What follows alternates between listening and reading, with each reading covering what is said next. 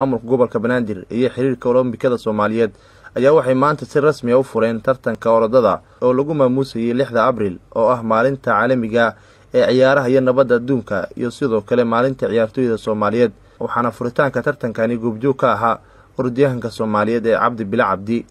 saddex boqol konton iyo toddoba dhalinyaro oo matalayay toddobiiy tobanka degme ee gobolka banaadir iyo xiriirka olombikada soomaaliyeed ayaa ka qayb galay tartankani iyadoo ay ordayeen masaafo gaaraysa saddex kilomitir oo isku xirta isgoosyada lambar afar iyo daljirka daasoon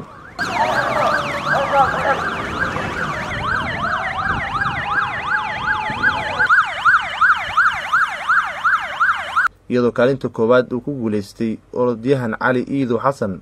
oo ka mid ahaa dhallinyarada maanta ka qayb gashay tartanka muqdisho mini maradon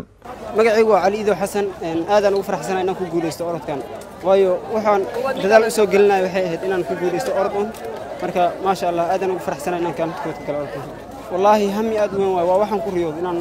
matalo qarankayga. Waayo qof walba waddankiisu ku faanaa waddankiisu u dadaalaa waxaan u dadaalaan waxay tahay inaan waddankayga guul gaarsiiyo sida cabdi bile cabdi oo maanta nala joogo runtii waa halyiga aan ku daysano orodyahanka soomaaliyeed ee cabdi bile cabdi oo ah shakhsiga ugu horreeyey ee isagoo matalaya magaca soomaaliya ku guulaystay tartanka orodada adduunka. Xiliyadii biriismaadkii ayaa waxa uu tilmaamay in dhallinyarada ay mudan yihiin garab istaag dhab ah. Waxaa loo baahan yahay ummadda oo dhan iyo dawladda oo dhan oo aanay hadal ahayna ka dhabayso ficil samaysa oo tidhaahda dhallinyaradayadu waa mustaqbalkii maanta waa kii berrito waannu garab taagannahay wax walbana waannu u qabanaynaa. Sidaannu u badbaadin lahayn u barbaarin lahayn berrina ay wax u noqon lahaayeen